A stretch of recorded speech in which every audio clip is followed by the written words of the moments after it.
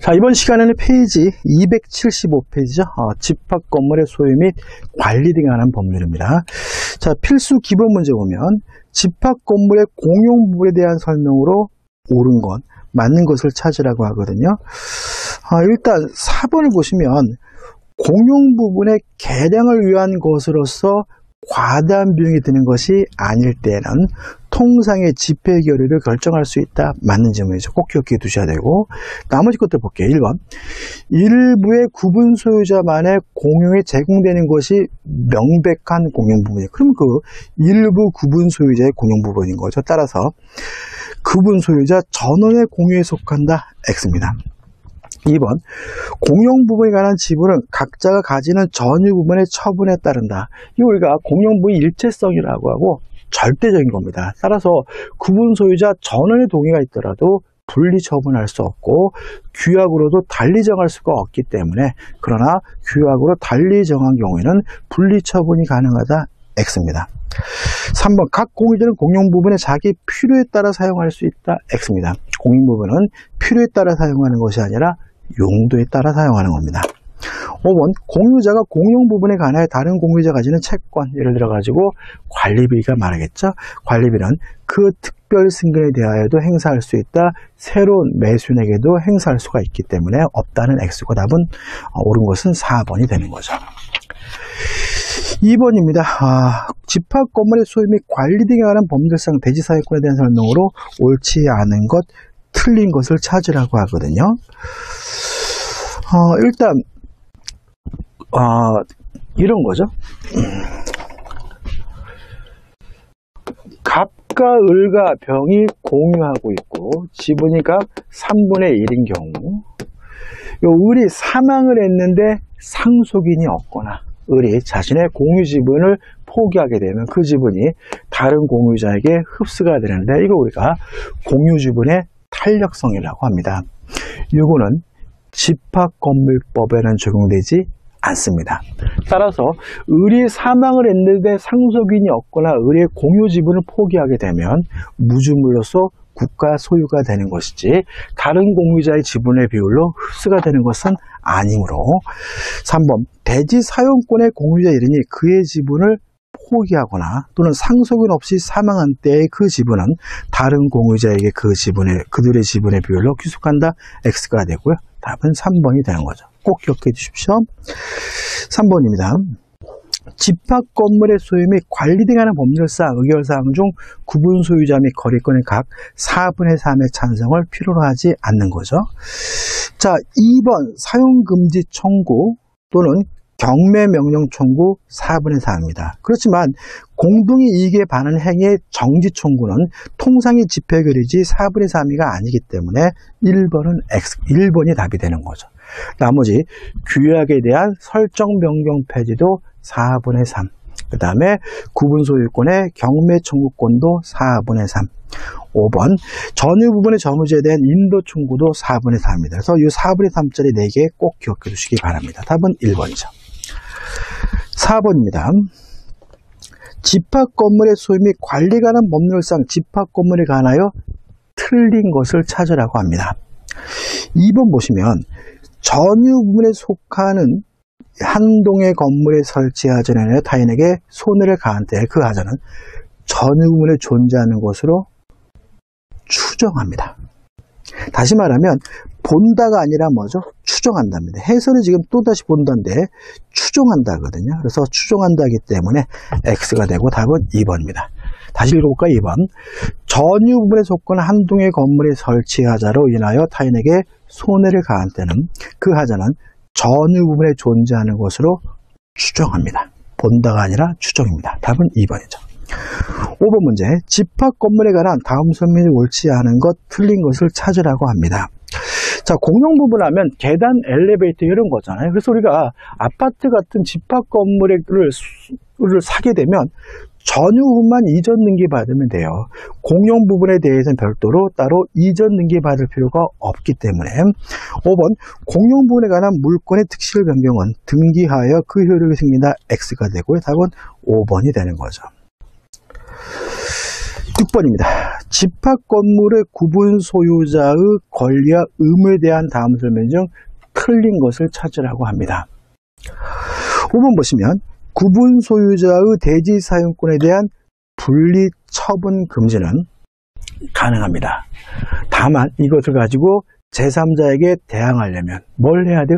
등기를 해야 되거든요. 따라서 등기하지 않아도 선의의 제3자에게 대항할 수 있다. X가 되고요. 답은 5번이네요.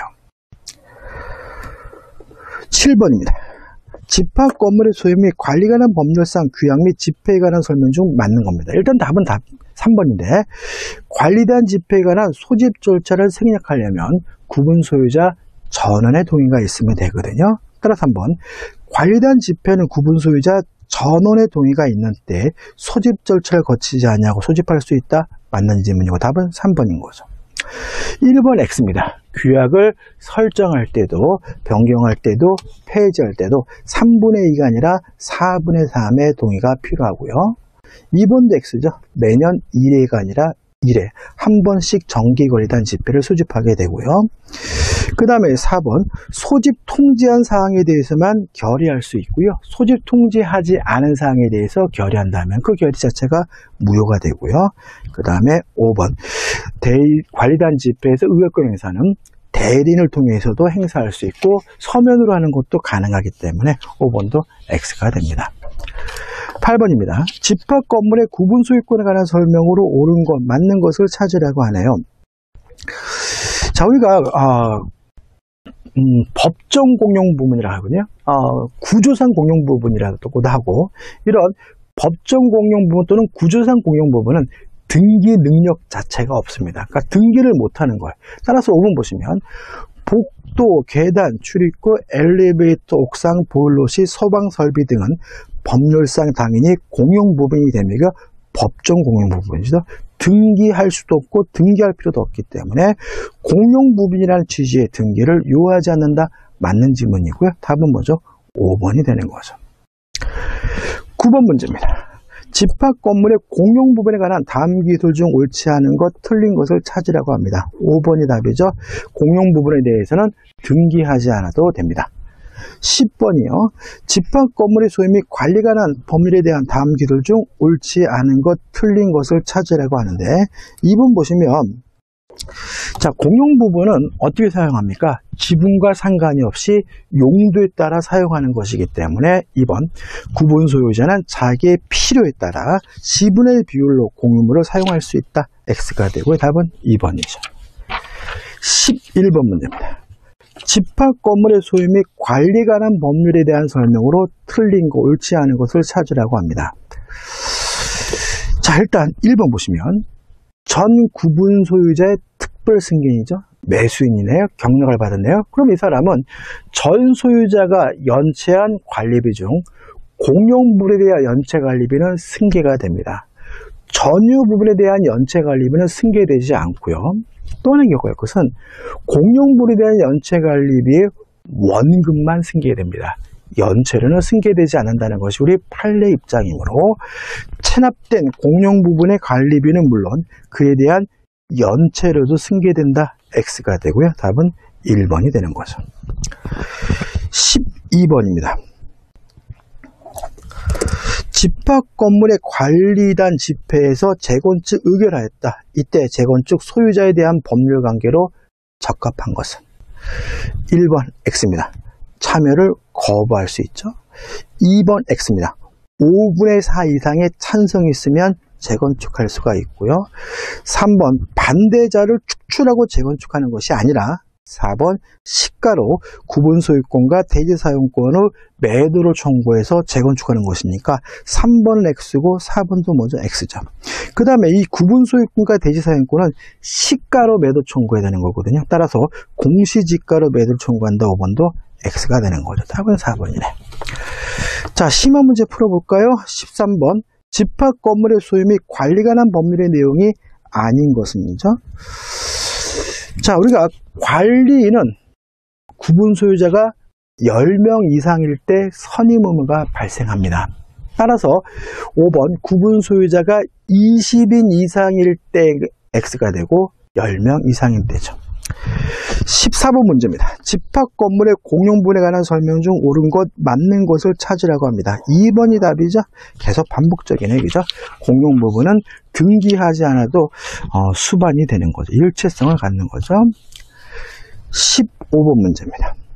집합 건물의 구분 소유권에 관한 다음 설명 중 틀린 것을 찾으라고 합니다. 자, 일단 우리가 대지권, 대지사용권도 원칙적으로 분할할 수가 없죠. 분할한다면 어, 뭐죠?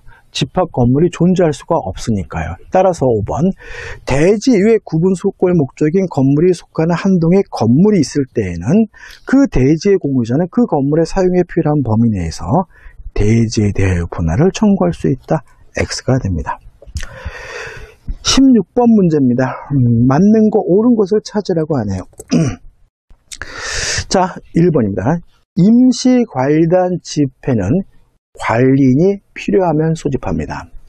다만 구분 소유자 5분의 1 이상의 요구가 있다면 요구 있다면 소집해야 되거든요. 따라서 1번 4분의 1이 아니라 5분의 1이죠.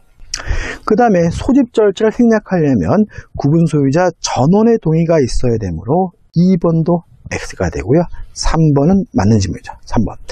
관리단 집회를 소집하고자 할 때 관리단 집회의 이르 일주일 전에 회의의 목적상을 명시하여 각 구분 소유자에게 통지하여 하고요. 이 절차를 생략하려면 구분 소유자 전원의 동의가 필요한 거죠. 4번 정기관리단 집회는 1년에 한 번 하게 되고요. 5번 규약의 설정도 변경도 폐지도 4분의 3 이상의 찬성이 필요합니다. 17번 문제입니다. 틀린 것을 찾으라고 하네요. 자, 연체관리 비중 뭐만 승계가 됩니까? 공용 부분에 대한 연체관리만 승계됩니다. 그것도 원금만 승계되고 연체로는 승계되지 않죠. 그 다음에 전유분에 대한 체납관리비는 승계되지 않아요. 따라서 5번 판례는 관리비가 체납된 구분 소유 건물을 취득한 자는 자신의 의사에 관계없이 관리 규약에 따라 공용부에 관한 체납관리뿐만 아니라 전유분에 관하여 체납된 관리비도 지급할 의무가 있는 것이란다. X죠. 특히 조심할 것은 만약에 아파트 관리 규약에 전유분에 대한 체납관리비도 승계된다라고 규약을 두고 있더라도 그때는 규약 자체가 무효가 된다는 것이 우리 판례 입장이라는 것 아울러 기억해 두시기 바라고 답은 4번입니다. 18번입니다. 틀린 것을 찾으려고 합니다.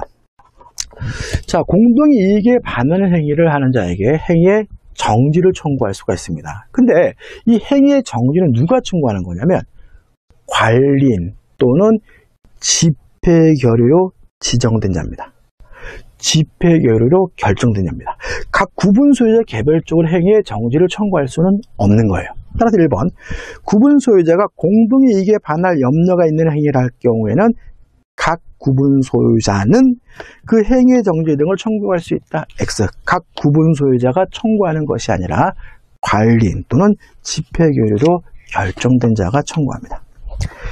19번 문제입니다. 음, 집합 건물의 소유 및 관리 관한 법률에 관한 설명으로 틀린 것을 찾으라고 합니다. 4번 보시면 관리인에게 부정한 행위가 있는 때 각 구분 소유자는 관리인의 해임을 법원에 청구할 수 있다? 맞는 질문이죠. 어, 답이 4번이 아닙니다. 그죠? 어... 어... 자, 1번부터 갈까요?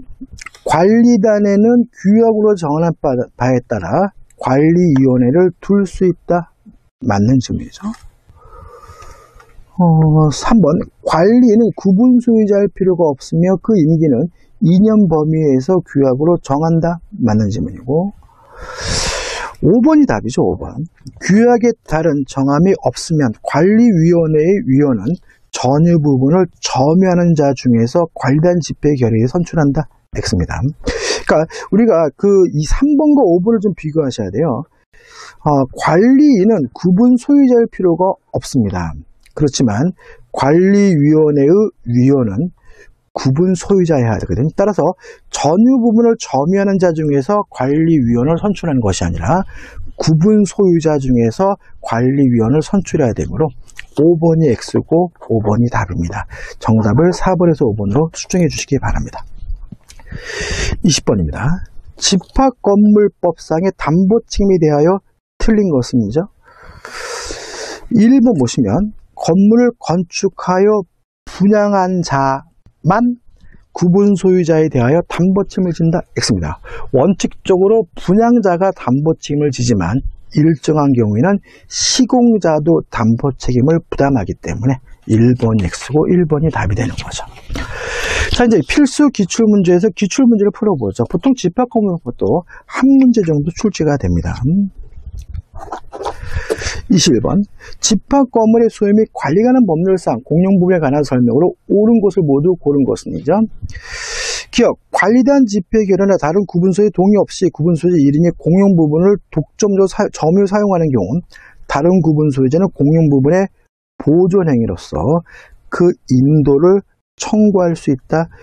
어, 각 구분 소유자가 인도를 청구할 수 있는 것은 아니기 때문에 기억은 뭐죠?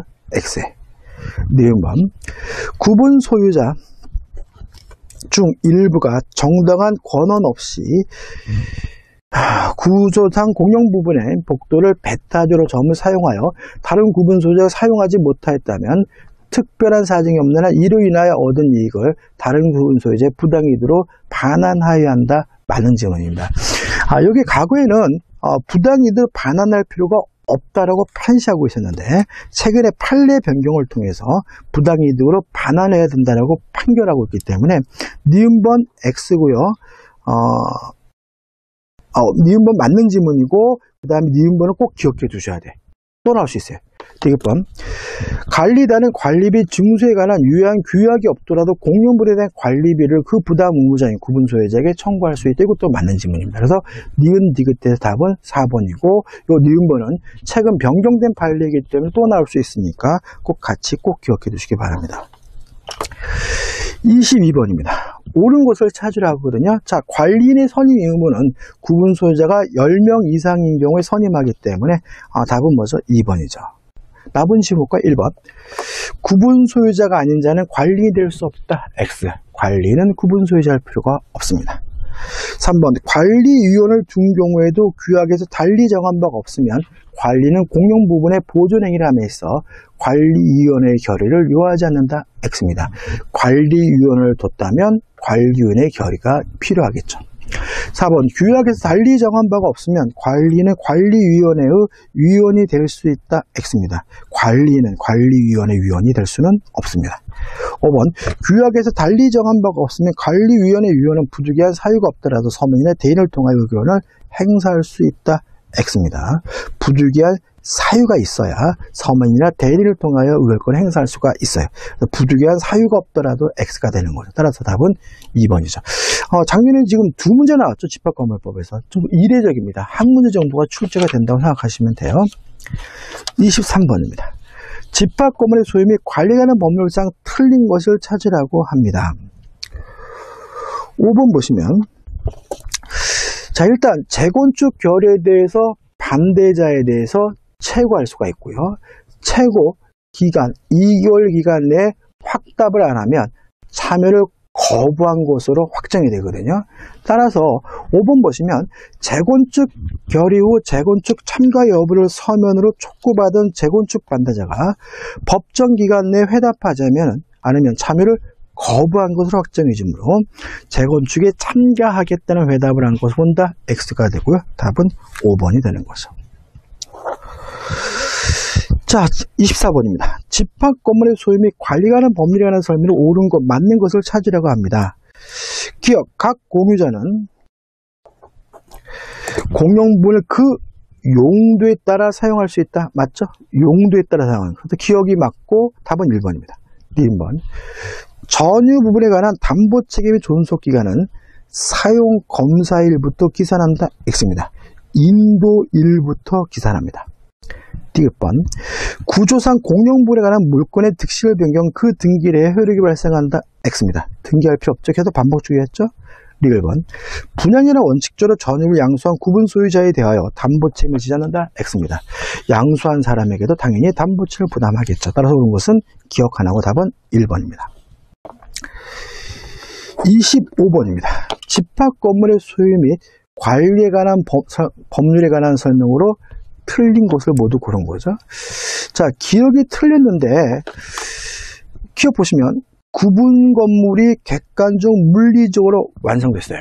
자, 우리 판례에 따른다면 집합 건물이 성립되는 시점은 구조상 이용상 독립성이 있고요. 그 다음에 구분 소유 의사 내지 의사가 표시되거나 구분 소유 행위가 있다면 건축물 대장에 등록하지 않았더라도 집합 건물이 성립된다는 것이 판례 입장입니다. 따라서 계속 읽어보시면 그 건물이 집합 건축물 대장에 등록되지 않는 한 구분 소유권의 객체가 되지 못한다. X가 되고요. 따라서 기억 하나가 X니까 답은 1번이 되네요. 자, 이제 가등기 담보대란 법률로 넘어갑니다. 자, 필수 기본 문제 풀어볼까요? 1번입니다. 가등기 담보등이라는 법률이 규제하는 담보 형태가 아닌 것은이죠. 자, 일단 가등기 담보등이라는 법률은 언제 언제 적용되냐면 첫째, 소비대차 계약으로부터 발생한 채권을 담보하는 경우에 적용됩니다. 중요한 것은 목적물의 가액의 채권액을 초과해야 돼요. 그리고 부동산에 관한 양도담보, 매도담보, 가등기 담보에 대해서 적용됩니다. 따라서 부동산이 되거든요. 그래서 동산에 관한 양도 담보에 대해서는 가담법이 적용되지 않기 때문에 1번 돈 10만 원을 빌리면서 그 담보로 100만 원 상당의 다해 반지 동산의 양도 담보죠. 다해 반지를 양도한 경우에는 적용되지 않습니다. 부동산에 관한 양도 담보, 매도 담보, 가등기 담보에 대해서 가담법이 적용이 됩니다. 답은 1번이죠. 2번입니다. 가등기 담보에 관한 설명 중 틀린 것을 찾으라고 합니다. 일단 가등기 담보나 양도 담보, 매도 담보는 항상 뭐죠? 왜? 얘네들은 기본적으로 뭐죠? 저당권이다. 저당권하고 글자 하나 안 틀리고 똑같다. 다만 혹이 하나 붙는다. 권리, 취득에 의한 실행도 할 수 있는 특수한 저당권이 가등기 담보, 양도 담보, 매도 담보인 거죠. 따라서 가등기 담보도 기본으로 저당권과 맞기 때문에 같기 때문에 경매권이 인정이 돼요. 5번 가등기 담보권자는 담보물에 대해 소유권을 취득할 수는 있으나 경매를 청구할 수는 없다. X죠. 저당권하고 글자 하나 안 틀리고 똑같다. 하나 뭐 추가된 게 뭐예요? 권리, 취득에 의한 실행을 할 수 있는 특수한 저당권이 가등기 담보, 양도 담보, 매도 담보다. 이렇게 머릿속에 가져가야 되는 거죠. 3번 문제입니다. 옳은 것을 찾으라고 합니다. 일단 저당권하고 글자는 안 틀리고 똑같기 때문에 2번 저당권의 피담보 채권의 범위와 같다. 이게 맞아요. 나머지 것도 볼까요? 1번 채무 불이행이 있으면 곧바로 담보권을 실행할 수 있다. X죠. 실행 통지한 후 두 달을 기다려야 되는 거죠. 이 3번 대물 변제 예약이라는 형식에 의해서만 가능하다. 대물 변제에 의한 예약에 의한 형식은 가등기 담보죠. 가등기 담보뿐만 아니라 양도 담보, 매도 담보도 있고요. 꼭 대물 변제 예약 방식의 필요는 없기 때문에 3번은 X죠. 4번 양도담보권자가 매수한 매각하면 매수인 유효하게 소유권을 취득한다. 요 매수인이 유효하게 소유권을 취득하려면 선이어야 합니다. 다시 말하면 선의 매수인만 유효하게 소유권을 취득합니다. 5번 어떠한 경우에도 경매만 할 수 있다? 아닙니다. 권리 취득에 한 실행도 가능합니다. 답은 2번이네요. 4번 문제입니다. 가등기 담보에 관한 다음 설명 중 잘못된 것, 틀린 것을 찾으라고 합니다. 1번 보시면 가등기 담보권자는 권리 의한 실행도 가능하지만 저당권자로서 경매할 수도 있는 거죠. 따라서 담보 가등기 권리자는 반드시 청산 절차에 의하여 담보권을 실행하여야 한다. X가 되는 거죠. 5번 문제죠. 가등기 담보에 관한 다음 기술 중 틀린 것은 자 기본적으로 뭐죠? 저당권하고 글자는 틀고 똑같아요. 그래서 가등기 담보, 양도담보, 외도담보도 저당권자처럼 경매권도 있고 우선변제권도 있고 물수상대위권도 있고요. 별제권도 인정이 되거든요. 따라서 3번 담보권 설정자가 파산한 경우에 가등기 담보권자가 별채권을 가지는 것은 아니다. X가 되고요. 답은 3번이 되는 거죠. 6번입니다. 가등기 담보대란 법률에 대한 다음 기술 중 옳지 않은 것을 찾으라고 하네요. 2번이 답이죠. 자, 돈을 안 갚으면 실행 통지하고 두 달 기다렸다가 실행할 수가 있습니다. 따라서 2번. 채권자는 채무자의 채무 불이익이 있으면 곧바로 담보권을 실행할 수 있다. X가 되는 거죠. 7번 문입니다. 가등기 담보권에 관한 다음 기술 중 맞는 것은 이죠. 1번. 저당권과 똑같아요. 이거 빼고. 그러면 저당권에 의해서 담보되는 피담보 채권도 아무런 채권 제한이 없고 꼭 금전 채권일 필요는 없는 것이니까 1번. 가등기 담보권의 설정 계약 당시 피담보 채권은 금전 채권으로 존재해야 한다. X가 되는 거죠. 저당권과 마찬가지로 부정성, 수반성이 인정이 됩니다. 따라서 2번.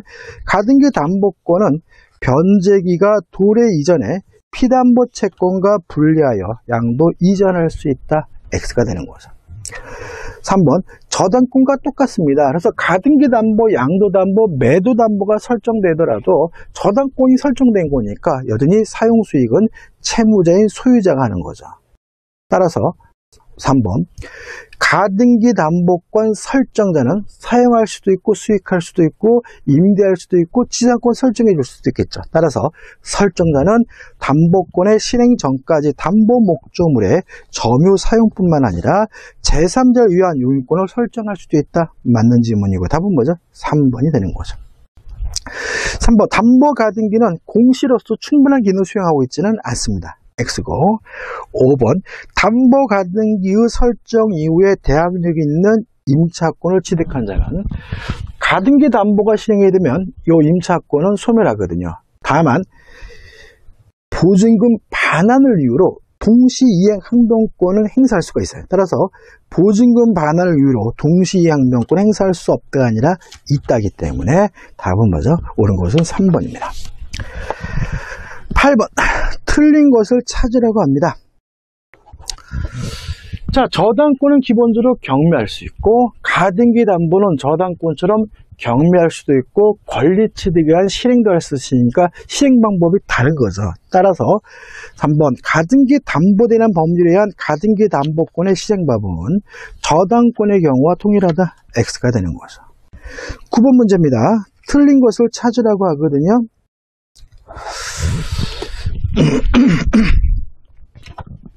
자, 가등기 담보가 실행이 되면 이 가등기 담보보다 선순위 권리는 소멸하지 않고요. 가등기 담보보다 후순위 권리는 무조건 소멸하게 됩니다. 따라서 이 선순위 권리는 소멸하지 않고 남기 때문에 가등기 담보권자가 나중에 소유권을 취득하더라도 요 사람에게 변제해야 되겠죠. 그래서 청산금은 어떻게 계산하냐면 목적물의 가액에서 가등기 담보권자가 받을 채권액과 선순위 권리자가 받을 채권액을 합산해서 공제하게 됩니다. 물론 후순위 권리는 무조건 뭐가 돼야 돼요? 소멸이 돼야 되니까 후순위 권리자가 받을 채권액은 합산해서 공제하지는 않습니다. 그러면 3번이 답이죠. 청산금은 실행통지 당시 목적물 부동산의 가액에서 그 시점에 목적 부동산에 존재하는 모든 피담보 채권을 공제한 차익이다. X. 모든 건 아니죠. 가등기 담보보다 후순위 권리자가 받는 채권액은 공제하지 않으므로 어, 답은 뭐죠? 음, 3번이 되는 거죠. 10번 문제입니다. 다음 가등기 담보되는 법률에 관한 설명 중 틀린 것은 찾으라고 하네요. 1번 보시면 대물 반환 예약 당시 담보물의 가액이 차용의 이에 붙인 이자의 합산액에 미달하는 경우 가산법이 적용되려면 채권액보다 목적물의 가액이 더 커야 돼요. 만약에 미달한다면 채권액이 목적물의 가액보다 아, 목적물의 가액 채권액보다 미달 작다면 가산법이 적용되지 않기 때문에 미달하는 경우에도 이 법이 적용된다. X가 되고 답은 1번이죠. 11번 문제입니다. 다음은 가등기 담보에 투기한 소멸원인이 채무자의 가등기 말소 청구권에 관한 기술이다. 틀린 것은 찾아가네요. 자, 일단 어, 가등기 담보는 담보의 경우에 언제까지 돈을 갚아야 변제하고 말소를 청구할 수 있냐면 청산금을 수령하기 전까지예요. 그 청산금이 없어요. 그럼 언제까지 돈을 갚아야 되느냐? 가등기 담보의 경우에는 본등기 전까지 변제하면 말소를 청구하는 것이 가능합니다. 따라서 2번 청산금이 없는 경우에는 채권자는 청산기간의 경과로 목적 부동산의 소유권을 취득하므로 말소 청구할 수 없다. X입니다. 청산기간이 경과됐더라도 본등기 전이라면 아직 채권자가 소유권을 취득하지 못했기 때문에 본등기 전까지 변제한다면 말소 청구가 가능하기 때문에 2번이 X고 2번이 답인 거죠. 자, 적중 심한 문제 풀어볼게요. 12번입니다. 갑은 을에 건물을 구입하면서 그 대금 중 일부의 지급을 담보하기 위하여 병에게 부탁하여 그 소유 토지 등기를 을 앞으로 이전시켰다. 다음 중 틀린 거죠. 그러면 양도담보가 설정됐음을 알 수 있고요. 틀린 것을 찾으라고 합니다. 5번 보시면 을은 무단으로 토지를 점거하는 자에 대하여 물권을 소유권 행사할 수 있다. 이게 답이에요. 자, 왜냐하면 양도담보가 설정되더라도 여전히 소유자는 병인 거죠. 그죠? 병인 거죠. 을이 취득하는 것은 양도담보권을 취득한 거예요. 따라서 여전히 4번 사용수익하는 것도 병인 것이고 물권도 초권을 행사하는 것도 누구예요? 병해야 되는 거죠. 따라서 답은 뭐죠? 5번이 됩니다. 13번입니다. 갑은 그 소유 토지에 관하여 을에 대한 차용금 채매 담보 목적을 앞으로 소유권 이전 등기라고 원리금을 변제하면 반환받기로 약정하였다. 이 사안에 관한 다음 설명 중 옳지 않은 것입니다.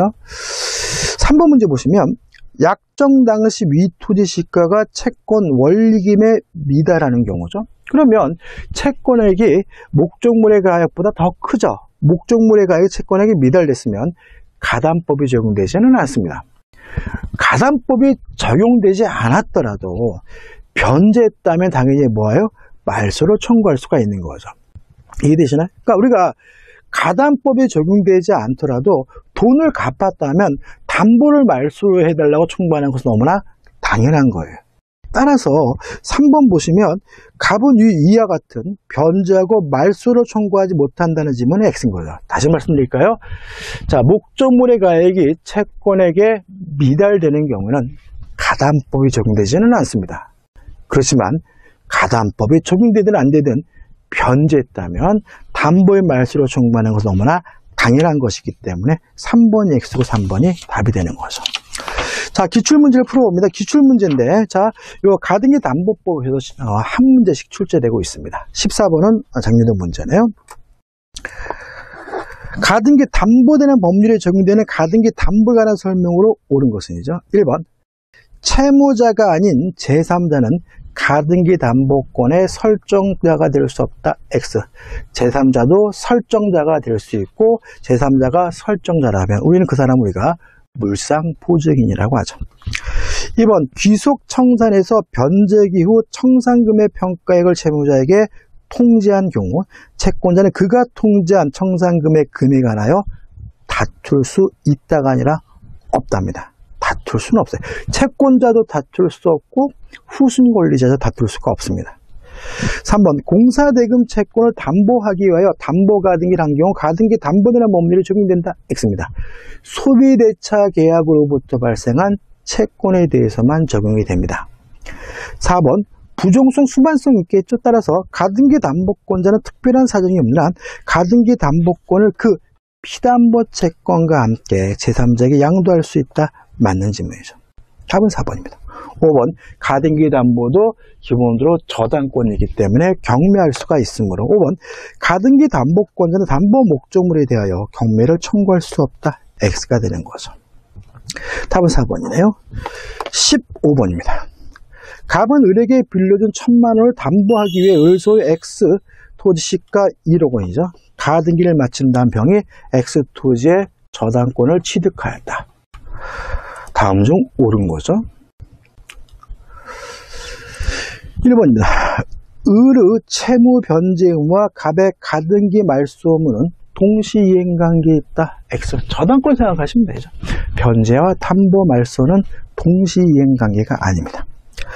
이번 갑이 청산 기간이 지나기 전에 가등기엔 본등기를 마치면 그 본등기는 무효이다. 맞거든요. 왜 그렇죠? 예.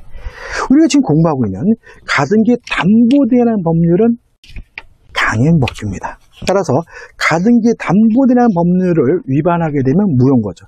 그래서 청산 기간이 지나고 나서 청산금을 지급하고 본등기를 해야 되는 거예요. 만약에 가등기 담보법을 위반하게 되면 무효니까 2번이 맞는 거고 2번이 답인 거죠. 3번 을이 청산기간이 지나기 전에 한 청산금에 관한 권리 양도는 이로써 병에게 대항할 수 있다. X. 대항할 수 없습니다. 청산기간 되니까. 4번 병은 청산기간이 지나면 그의 피담보 채권 변제기가 도래하기 전이라도 X투지 경매를 청구할 수 있다. X입니다. 청산기간 내에서만 경매를 청구할 수 있으면 병은 후순위 권리자죠. 5번 갑의 가등기 담보권 의한 경매 절차에서 X토지의 소유권을 정의 취득한 경우 갑의 가등기 담보권은 소멸하지 않는다. X. 물론 가등기 담보권은 뭐죠? 소멸하겠죠. 얘는 소멸되고 후순위 권리도 뭐죠? 소멸이 됩니다. 답은 2번이네요. 16번입니다. 을은 갑으로부터 1억 원을 빌리면서 자신의 X 토지를 양도담보로 쟁하고 감명의로 소유권 이전 등기를 마쳤다. 그 병은 X 토지를 사용 수익하던 을과 임대차 계약을 맺고 그 토지 인도받아 사용 수익하고 있다. 다음 설명이죠. 틀린 것은이죠. 자 일단 양도담보가 설정됐더라도 사용 수익하는 것은 여전히 양도담보 설정자인 거죠. 그죠? 따라서 을이 여전히 뭐가 있는 거예요? 소유권이 있는 거예요. 양도담보를 저당권으로 바꿔서 생각해 보시면 돼요. 따라서 임대를 받는 것도 누군 거예요? 을인 거죠.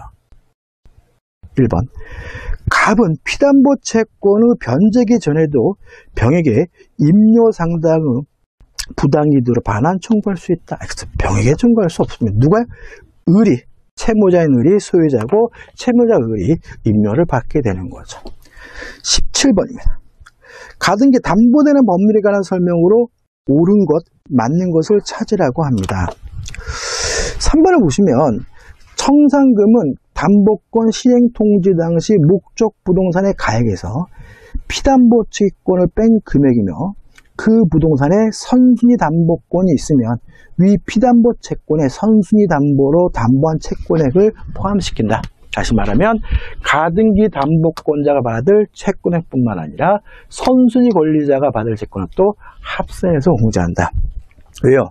가등기 담보가 실행이 되더라도 선순위 권리는 뭐 되잖아요? 소멸되지 않으니까. 맞는 질문이고 답은 3번입니다. 18번입니다. 을은 갑에 대한 1억 원의 차임금 채무를 담보하기 위해 자신의 X 건물에 관하여 감명의로 소유권 이전 등을 마쳤다. 이 얘기하는 설명으로 옳은 거죠. 3번을 보시면 갑은 담보권 실행으로부터 을로부터 임차여 X 건물을 점유하고 있는 병에게 그 인도를 청구할 수 있다. 자, 이게 무슨 말이냐면 지금 담보권이 실행이 됐어요. 실행이 되면 어, 갑이 뭐예요? 소유권을 갖게 되는 거죠. 그러면 이 병에게 자신의 소유권을 뭐죠? 소유권을 행사할 수 있는 거예요. 그러니까 우리 보시면 갑은 담보권 실행이죠. 담보권을 실행함으로써 현재 임차인 병에게 인도를 청구하는 것은 가능하기 때문에 옳은 것은 3번인 거죠.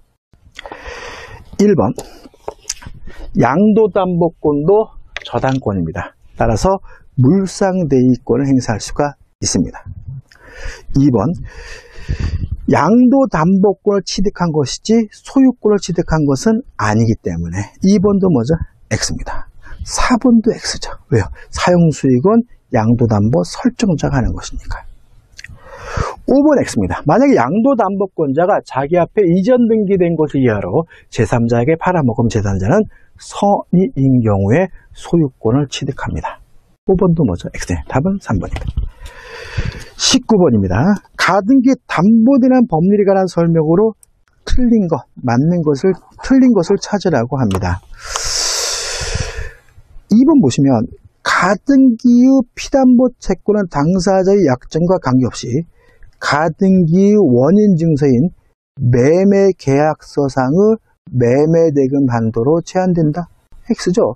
이 지문 자체가 좀 애매한데 가등기 담보에 담보되는 피담보 채권은 소비대차 계약으로부터 발생하는 채권 하나입니다. 따라서 매매대금 한도로 제한된다는 질문은 뭐가 되죠? X가 되고 답은 2번이 되는 거죠. 자, 드디어 이제 마지막이죠. 아, 부동산 실권리자 명의 관한 법률입니다. 1번입니다. 필수 기본 문제죠. 부동산 실권리자 명의 등기에 관한 법률의 규제 대상에서 제외되지 않는 거죠. 일단 5번 보시면 농지에 대한 당연히 뭐죠? 적용이 되겠죠. 답은 뭐죠? 5번입니다. 자, 1번. 음, 가등기 담보, 양도 담보는 적용되지 않겠죠. 2번.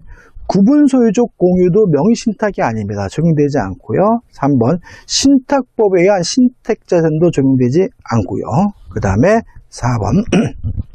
세금 포탈 등의 불법한 목적이 없다면 종중재산이나 배우자 간은, 배우자 간에는 명의신탁이 가능하죠. 답은 5번입니다.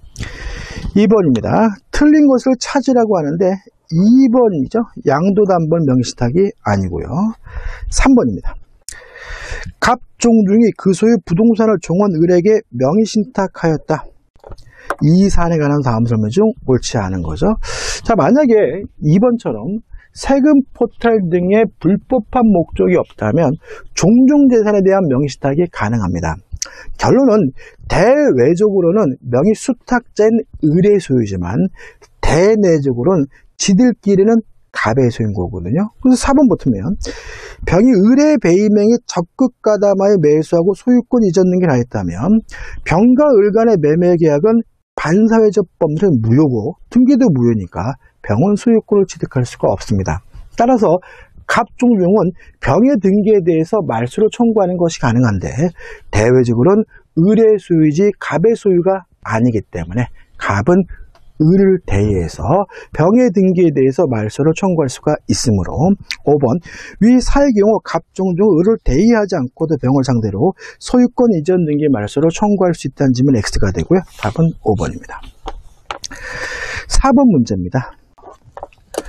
병소의 부동산을 취득하고자 하는 부동산 특이업자 갑은 탈세 목적으로 친지 을과 사이에 명시탁 약정을 맺고 을에게 매수 자금을 주면서 병과 매매 계약을 체결하도록 하였다. 을은 갑의 부탁대로 명시탁 약정이 있음을 모르는 병과 매매 계약을 체결하고 소유권 이전 등을 격려받았다. 다음 설명 중 옳은 거죠. 그러니까 이렇게 이제 부동산 실명법 문제가 나오면 사례가 나오거든요. 그러니까 또 이게 마지막 문제니까 시간이 없으니까 마음이 급해서 막 제대로 못 풀어요. 근데 이거 바쁘더라도 조금 매문하셔야 돼. 그러니까 갑과 을이 만나서 명의시탁 약정도 하고 네가 살아 위임을 해서 매도인인 병과 만나서 명의수탁자가 매매 계약도 하고 이전 등기도 했는데 매도인이 뭐죠? 선이죠. 선이. 따라서 계약 명의신탁이고 매도인이 선이라면 등기가 뭐예요? 유효하고요.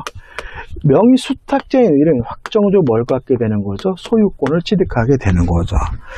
자, 옳은 것을 찾으라고 하는데 5번 보시면 만약 아 1번부터 볼게요. 1번 병은 을을 상대로 소유 상대로 이전 등기 말소 청구할 수 있다 X죠. 을이 뭐예요? 소유권을 취득했으니까. 답은 4번이죠. 그죠? 옳은 것은 을 이 소유권을 취득한다죠. 그럼 끝인 거예요.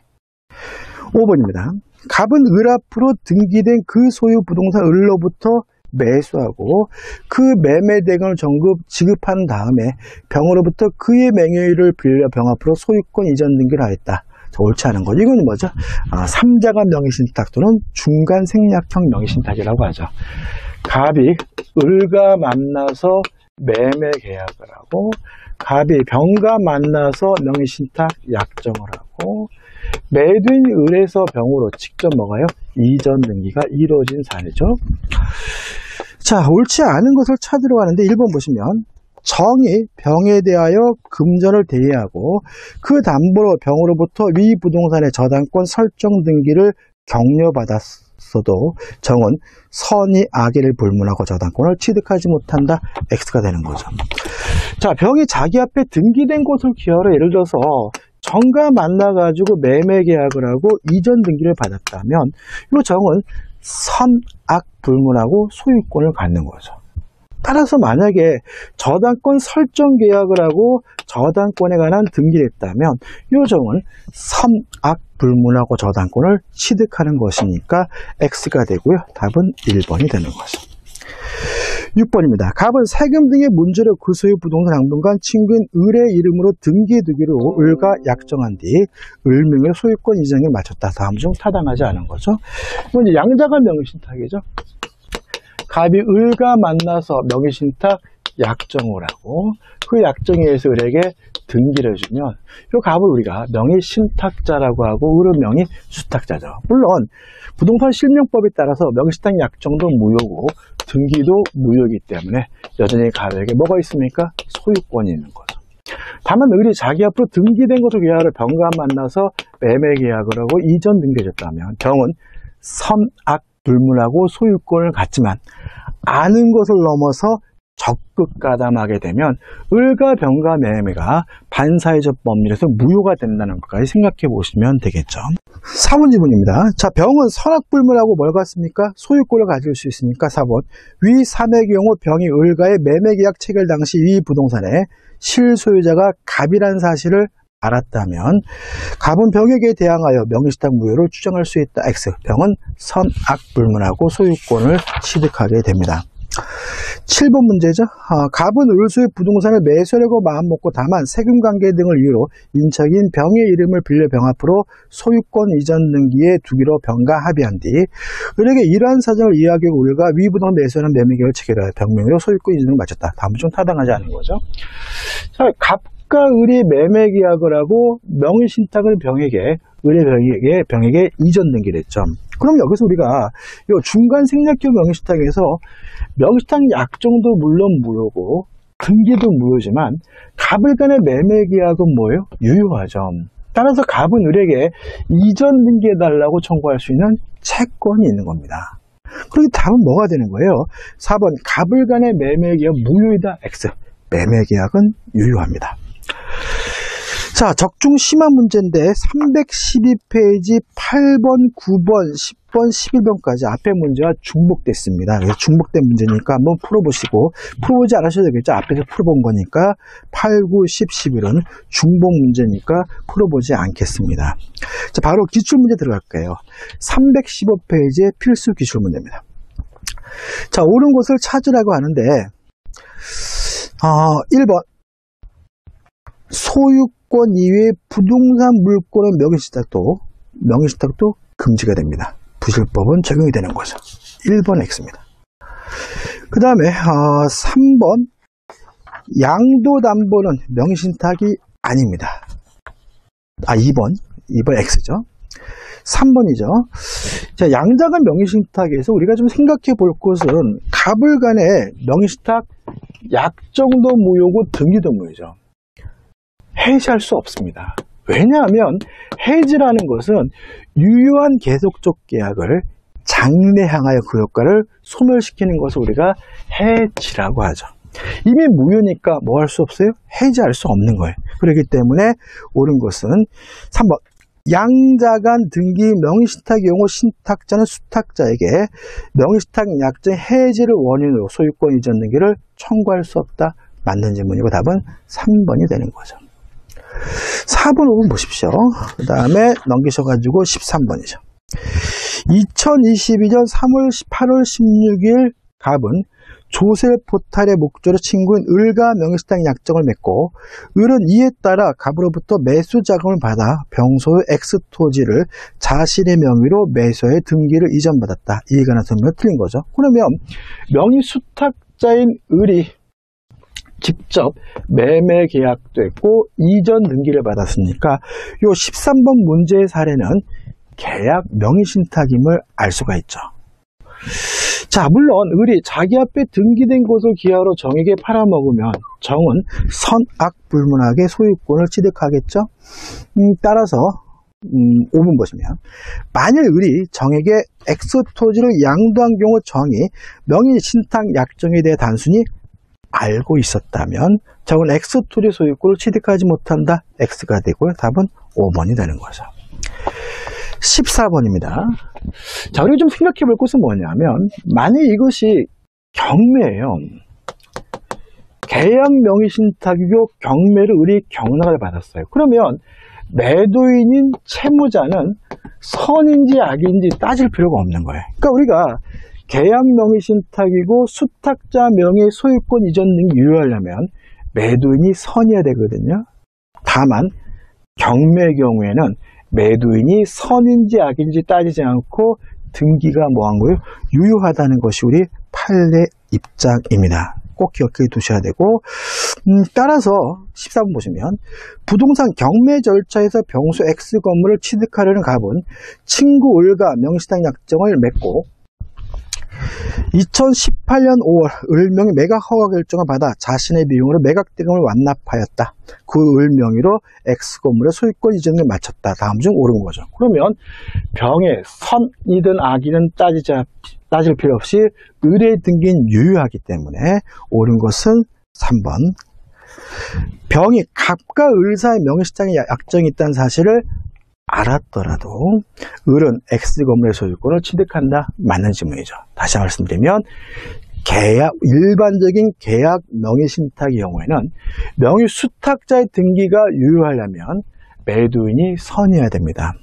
다만 우리 판례에 따른다면 경매의 경우에는 매도인이 선악 불문하고 명의 수탁자의 등기가 유효하다는 것이 우리 판례 입장이라는 것까지 꼭 기억해 주시기 바랍니다. 답은 3번이네요. 15번입니다. 갑은 조세 포탈 강제 집행의 면탈 또는 법령상의 제한 회피를 목적으로 하지 않고 배우자 을과 명의신탁 약정에 따라 자신의 X토지를 을 명의로 소유권 이전을 마쳐줬다. 다음 설명 중 틀린 거죠. 그러면 이거는 유효한 명의신탁이죠. 그러면 대내적으로는 갑의 소유지만 대외적으로는 을의 소유임을 알아요. 을의 소유라는 게 떠올라야 되겠죠. 잘 틀린 것을 찾는데 3번 보시면 정의 X 토지를 불법 점유해요. 그럼 정에 대해서는 소유자가 누구냐면 을인 거예요. 그러면 소유권에 기한 물권적 청구권도 행사도 을이 해야죠.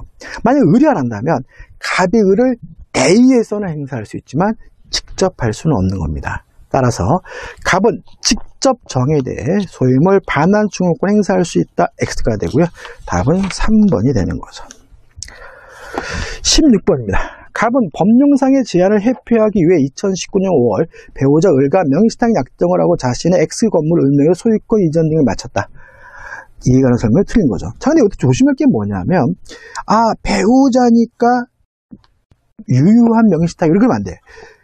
전제가 뭐냐면, 법령상의 제한을 회피하기 위하여, 법령상의 제한 회피할 목적이 없어야 유효하거든요. 그러니까 회피하기 위해서 부부간의 명의시탁이 있다면 이거는 뭐예요? 무효인 명의시탁인 거죠. 이것만 조심하시면 돼요. 틀린 것을 찾는데 5번 을이 병에게 X 건물을 적법하게 양도하였다가 다시 소유권을 취득한 경우 갑은 을에게 소유물 반환을 청구할 수 있다. X가 되고 이게 우리 판례 입장입니다. 그러니까 다시 말하면 을이 병에게 팔아먹고 이전 등기를 해주면 병은 선악 불문하고 소유권 확정적으로 취득하죠. 따라 병은 갑은 자신의 소유권을 이루어 병의 등기에서 말소를 청구할 수가 없어요. 근데 병에서 을로 소유권이 회복이 된 거죠. 회복이 됐을 때 갑을에게 소유권을 이유로 반환을 청구할 수가 있느냐에 대해서 우리 판례는 없다는 것이 우리 판례 입장이라는 거 기억해 두시기 바라고요. 답은 뭐죠? 5번이 답인 거죠. 자 마지막 문제입니다. 17번 갑은 법령상의 제한을 피하기 위하여 을소유 X부동을 매수하고자 자신의 친구인 병과 X부동산 매수 간의 명시당 약정을 체결했다. 이에 따라 2021년 5월 병은 을과 부동산 매매 계약을 체결하고 갑은 갑의 자금으로 그 대금을 지급하고 병명의로 이전 등기를 마쳤다. 이 얘기하는 설명이 틀린 거죠. 그럼 이것도 음, 계약 명의 신탁임을 알 수 있죠. 음, 달라진 건 뭐죠? 을과 병이 좀 달라졌죠. 명의 수탁자가 을이 아니라 누구죠? 병인 것이고 그 다음에 매도인이 누군 거죠? 을인 거죠. 이것만 조심하면 되겠죠? 자, 5번을 보시면 X 부동산의 소유권을 유효하게 취득한 병이 명시상 약정 외의 적법한 원인하여 갑앞으로요 소유 X 부동산의 소유권 이전을 마친다 해도 그 소유권 이전 등기는 무효이다 X입니다. 그러니까 이게 무슨 말이냐면 매도인이 선이라면 병이 확정적으로 소유권을 취득하기 때문에 갑은 자신의 소유권을 이유로 병에게 소유권 자체를 돌려달라고 청구할 수는 없는 거죠. 다만 위 말하는 지급한 그 매매 대금에 대해서는 부당이득 반환을 청구할 수가 있는 거예요. 어떤 경우에요? 병이 안 돌려준다라고 우길 때 그런 거죠. 만약 병이 그냥 우리 갑에게 순순히 이전 등기를 해줬다면 갑은 뭐죠? 당연히 소유권을 취득할 수 있다는 것이 우리 판례 입장이므로 5번이 X, 5번이 답이 되는 거죠. 자, 이렇게 해가지고 이제 우리가 아, 문제집까지 끝났고, 이제 다음 주부터는 우리가 요약 강의로 넘어가게 됩니다. 여러분들 수고 많으셨고, 여러분들 모두 고맙습니다.